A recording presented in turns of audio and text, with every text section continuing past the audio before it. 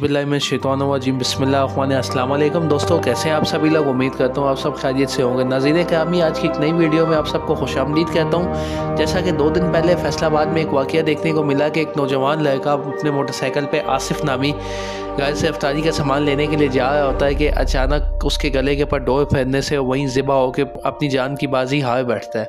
नाजीन कामी ये कोई एक आधा वाक़ नहीं, इस तरह के हमें बहुत से वाक़ात देखने को मिलते हैं। तो जितना हो सकता है, अगर आपके आसपास भी कोई पतंग उड़ाने वाला बंदा नज़र आता है तो वन फाइव के फ़ौरन से इत, इतला दीजिए। अगर आपकी घर में कोई छोटा या कोई बंदा आपकी बात नहीं मानता उसको बताए, उसको बैठा के समझाएँ कि पतंगबाजी एक जानलेवा मर्ज है। इससे खुदाया बचा जाए बचा जाए नाजीन कामी खुदाया इस पतंगबाजी के खूनी खेल से बचा जाए। नाजीन कामी आजकल पुलिस वालों ने अपनी एहतियाती तदाबीर आवाम को ख़ुद करने की हिदायत जारी कर दी है, क्योंकि इन माफिया के ख़िलाफ़ क्रैकडाउन करना बहुत मुश्किल है।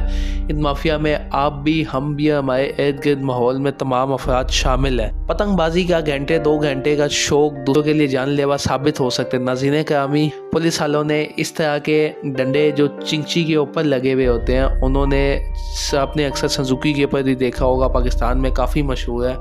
ये जो भी बंदा मोटरसाइकिल सवार है, अपने मोटरसाइकिल के आगे लगाए, फ्रंट पे लगाए, ताकि कम अज़ कम डोर फैरने से, डोर अगर तो उसके पास आए तो पहले उसका सामना इन डंडों से हो, और वो बंदा अपने आप को बचा सके।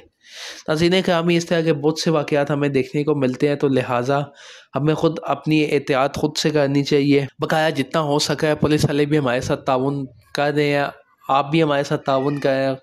आपके घर में भी अगर कोई पतंगबाजी का शौकीन बंदा है तो उसको मना किया जाए, खुदाया, उसको समझाया जाए कि यह खूनी खेल नजीन कामी दुआ करता हूँ कि आप सबको मेरी बात समझ आई होगी। इस तदाबीर को अपनाया जाए और खुदा इस खून इस खूनी खेल से बचा जाए। दुआ में याद रखिएगा। मिलता हूँ आप सबसे एक नई वीडियो में। अल्लाह हाफिज़।